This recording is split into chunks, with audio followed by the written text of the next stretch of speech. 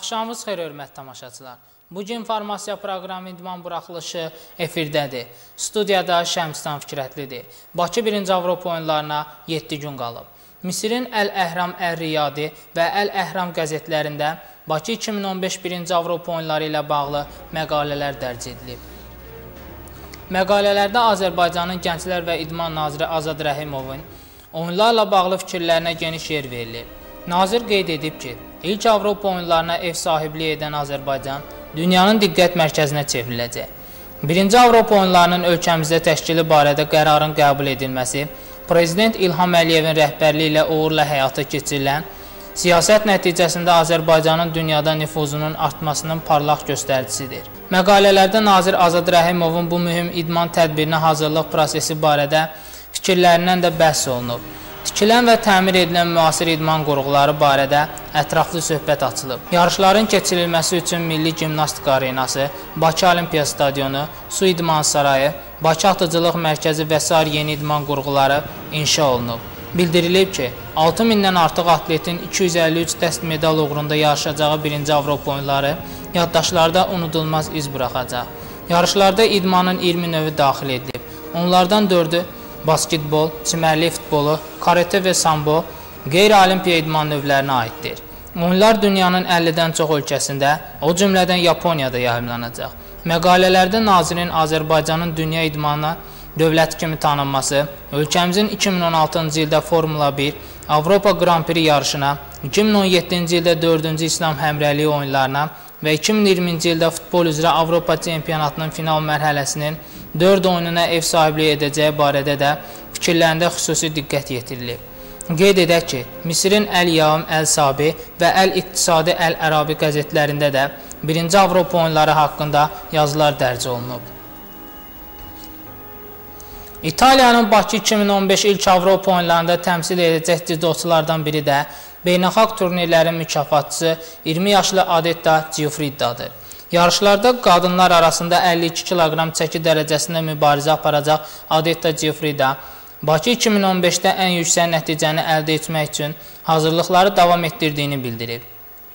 Bu günə də əldə etdiyi uğurlardan və gələcək planlarından danışan gənc cidoçu deyib.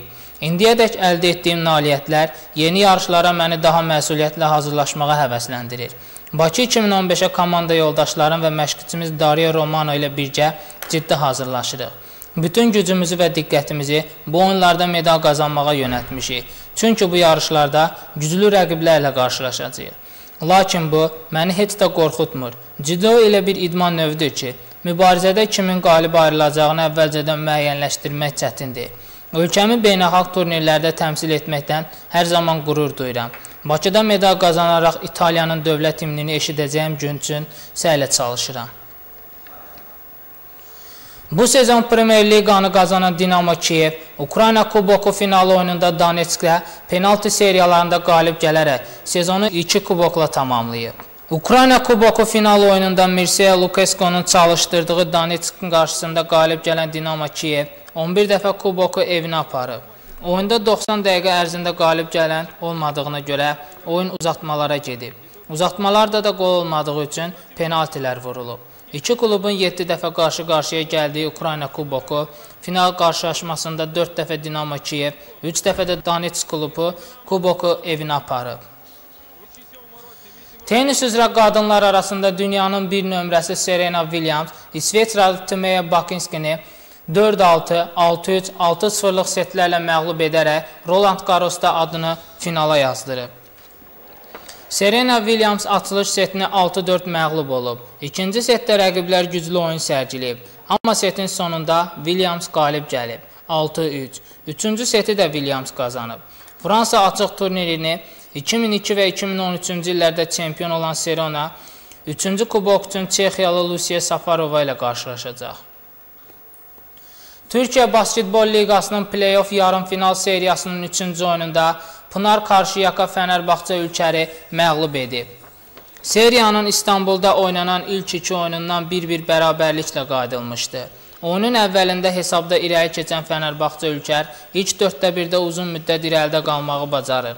4də 1-in bitməsinə 2 dəqiqə qalmış Baris Hersekin sərbəst atışları ilə oyunda ilk dəfə irəli keçən Pınar Qarşıyaka periodu 17-16 irəlidə tamamlayıb.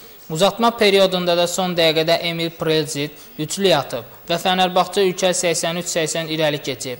Karşıyakadan Qarbriel fərqi 1-ə indirib.